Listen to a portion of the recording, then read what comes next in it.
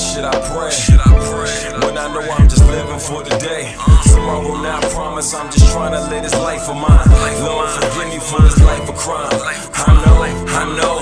I'm sinning, but that's the way that I live. I'm sinning, but that's the way that I live. I'm sinning, but that's the way that I live. I'm sinning, but that's the way that I live. My life so suspense free, stand tall, 10 2. Rolling up the Hindu, peer Brindu. Status approved, check my credentials. Know why you claim to be blood, cause you always on your menstrual. So much anguish got me thinking heinous. I've been through living this life, no time to value the price. Put it on the scale, then I value the white. I'm a sinner in the dark, seeking the light. But so many preach lies, I'm clutching my vice, praying for change. But the cane paying for change, the game ain't playing the same. Cause everybody's saying the name, you in the way, stay in your lane. Lord, forgive me, I'm living fast like a Hemi. Loud back, send me stack Benjis. Pack gas, try to jack, I give it to you. I never was stingy, nah. Why should I pray? When I know I'm just living for the day. Tomorrow now I promise I'm just trying to live this life of mine. Lord, forgive me for this life of crime. I know, I know. I'm that's the way that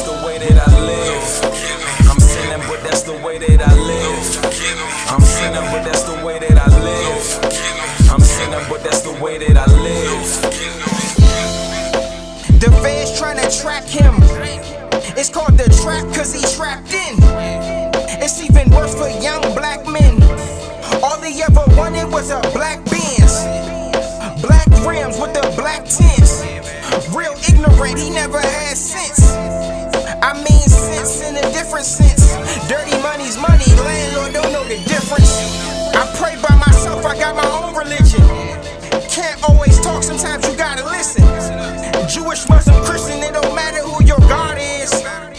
All about intentions, it just matters where your heart is. Blacks killing blacks and the cops trying to help us. Ever since the crack hit the blacks, we been helpless. So I put my mind on these tracks, I can't help it. Why should I pray? When I know I'm just living for the day. Tomorrow now I promise I'm just trying to live this life of mine. Lord, forgive me for this life of crime. I know, I know.